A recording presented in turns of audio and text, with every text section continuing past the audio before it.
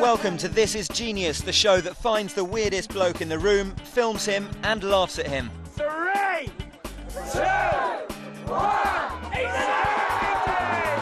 What could be more British than a bunch of eccentrics with excessive facial hair cramming poisonous plants into their mouths between gulps of foaming ale? Ladies and gentlemen, I give you the World Stinging Nettle Eating Championships, held where else? In the West Country. The man in charge of the madness is Judge Andy Taylor. We've got 22 foot at the top here, and with the amount of foliage on the leaves this year, that's pretty good going at the halfway stage. And he's still going strong. No signs of a or chunder yet, so. But we have had a couple of people out with the, the giveaway green beards, you know? Green beards, Retch and Chunder sounds like fun for all the family.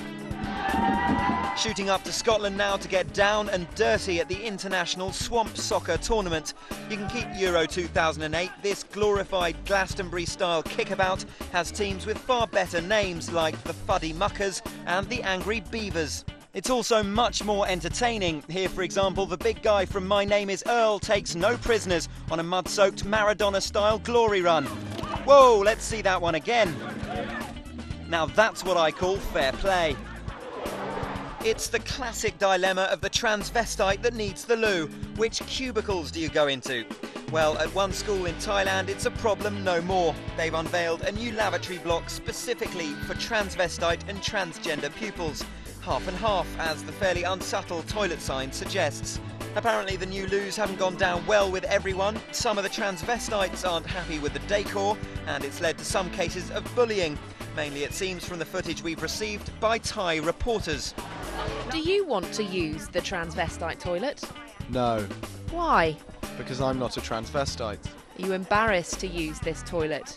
No, but I don't want to use it. Fair enough, leave the poor kid alone. Over to a jail in Brazil now, where some pigeons are being taught how to be criminals. At the Marilia prison near Sao Paulo, Shawshank Redemption meets Pigeon Street, and once innocent birds have become hardened drug runners. Trained by jailbirds, these drug birds have been customised so they can carry illicit substances or mobile phones.